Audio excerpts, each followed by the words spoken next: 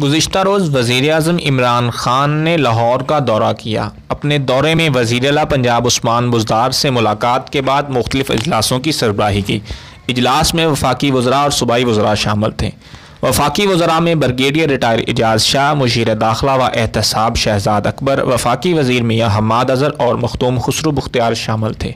सूबाई वज़रा में मुआवन खसूसी डॉक्टर फिरदौस आशक अवान, मियाँ असलम इकबाल और हाशम जवाब शामिल थे। वज़ी अजम ने तमाम लोगों की कारकर्दगी को सराहा और तमाम लोगों को मुबारकबाद पेश की।